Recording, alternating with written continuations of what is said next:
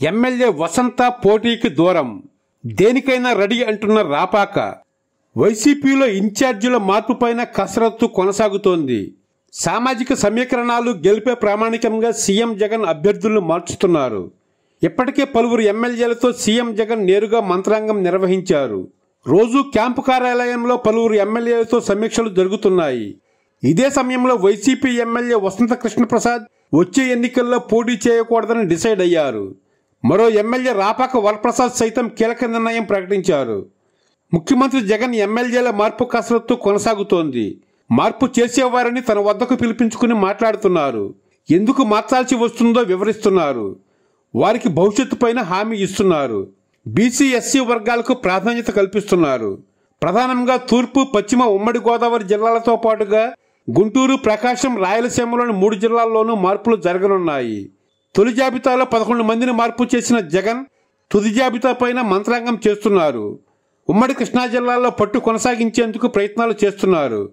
Mylavaram MLA వసంత కృష్ణప్రసాద్ను సీఎంఓకు రావాలని పిలుపు వచ్చింది. ప్రస్తుతం హైదరాబాద్లో ఉన్న ఆయన సీఎం వద్దకు రాలేదు. వచ్చే ఎన్నికల్లో పోటీకి దూరంగా ఉండాలని వసంత కృష్ణప్రసాద్ నిర్ణయించినట్లుగా తెలుస్తోంది.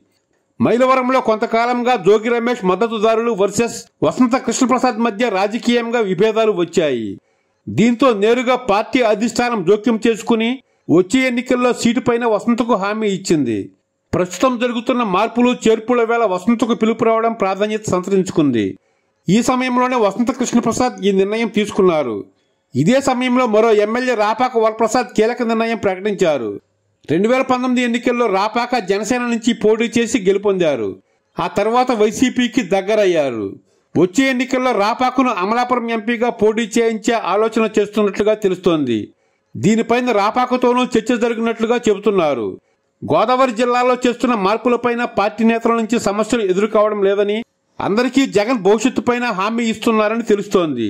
తనకు ఎమ్మెల్యేగా అయినా ఎంపీగా అయినా ఏ అవకాశం ఇచ్చినా జగన్ తీసుకునే నిర్ణయానికి కట్టుబడి ఉంటానని రాపాక స్పష్టం చేశారు. ఇప్పటికీ ఉభయ గోదావరి జిల్లాలో సిట్టింగ్ ఎమ్మెల్యేలతో మంత్రాంగం చేసిన సీఎం జగన్ ఒకటి రెండు రోజుల్లో మార్పులకు సంబంధించి అధికారికంగా నిర్ణయం తీసుకునే అవకాశం ఉంది. కొందరు మంత్రులను ఎంపీలుగా పంపేలా నిర్ణయం జరుగుతున్నట్లుగా తెలుస్తోంది.